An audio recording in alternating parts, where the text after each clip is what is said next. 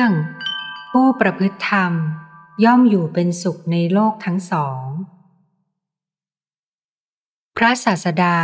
เมื่อประทับอยู่ในนิโครธาราม ทรงปรารบพระบิดา ตรัสพระธรรมเทศนานี้ว่า สมัยหนึ่ง พระศาสดาเสด็จไปกรุงกบิลพัทโดยเสด็จไปครั้งแรก หลังจากการตรัสรู้ พระญาติทั้งหลาย ทำการต้อนรับ แต่ไม่มีจิตเลื่อมใส พระศาสดาเสด็จไปสู่นิโครธารามทรงนิรมิตตน จงกรมในอากาศ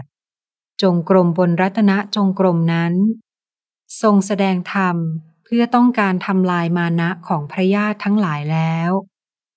พระญาติทั้งหลายมีจิตเลื่อมใส ถวายบังคมตั้งต้นแต่พระเจ้าสุดโทธนะมหาราช ฝนโบกขอรพัดตกในสมาคมแห่งพระญาตินั้น เมื่อมหาชนปารบฝนนั้นสนทนากันแล้ว พระศาสดาตรัสว่า ใช่แต่ในบัดนี้เท่านั้นหามิได้ ภิกษุทั้งหลาย ถึงในการก่อน ฝนโบกครพัดก็ตกในสมาคมแห่งญาติของเราเหมือนกัน ดังนี้แล้ว จึงตรัสเวสสันดรชาดก บรรดาพระญาติซึ่งฟังพระธรรมเทศนาแล้วหลีกไป ไม่มีแม้องค์หนึ่ง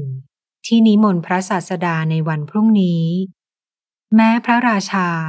ก็ไม่ทรงนิมนต์เลย ด้วยทรงดำริว่า พระพุทธเจ้าบุตรเราไม่มาสู่เรือนของเราจากไปไหน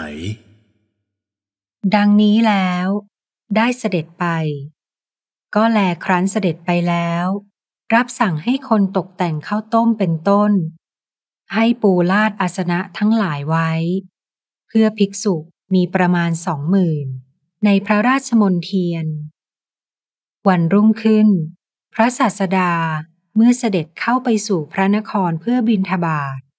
ทรงใคร่ครวญว่า พระพุทธเจ้าในอดีตทั้งหลาย เสด็จถึงพระนครแห่งพระบิดาแล้ว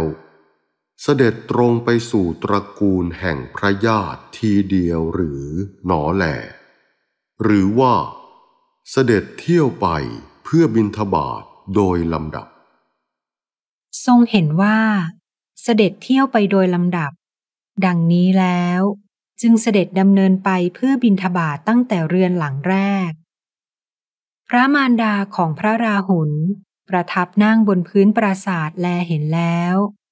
จึงกราบทูลประพฤติเหตุนั้น แด่พระราชา พระราชาทรงจัดแจงผ้าสาดก รีบเสด็จออกไป ถวายบังคมพระศาสดาแล้วตรัสว่า ลูก เพราะเหตุไร ท่านจึงให้ข้าพเจ้าฉิบหาย ท่านเที่ยวไปเพื่อพิกษาทำให้ข้าพเจ้า เกิดความละอายเหลือเกิน ท่านทำกรรมอันไม่ควรแล้ว การที่ท่านเที่ยวไปด้วยวอทองคำเพื่อการพิกษาในนครนี้นั้นแหละ จึงควร ท่านทำให้ข้าพเจ้าละอายทำไม พระศาสดาตรัสว่า มหาบพิษอาตมาภาพทำให้พระองค์ละอายหามิได้ แต่อาตมาภาพย่อมประพฤติตามวงสกุลของตน พ่อ ก็การเที่ยวไปเพื่อพิกษาอย่างนี้ เป็นวงของข้าพเจ้าหรือ มหาบอพิษ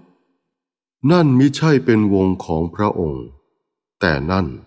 เป็นวงของอาตมาภาพ เพราะพระพุทธเจ้าไม่ใช่พันหนึ่ง เสด็จเที่ยวไปเพื่อบินทบาท สำหรับการดำรงชีพเหมือนกัน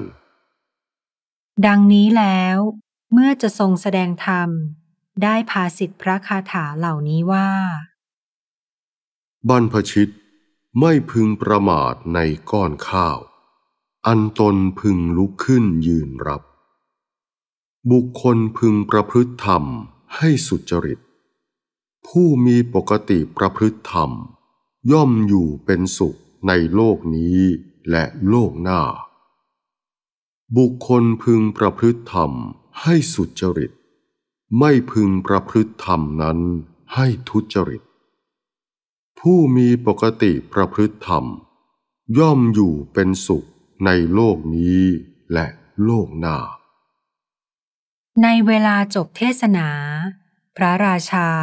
ทรงดำรงอยู่ในโสดาปฏิผลแล้ว เทศนาได้มีประโยชน์แม้แก่ชนทั้งหลายผู้ประชุมกัน ดังนี้แล เรื่อง ผู้ประพฤติธรรมย่อมอยู่เป็นสุขในโลกทั้งสอง จบ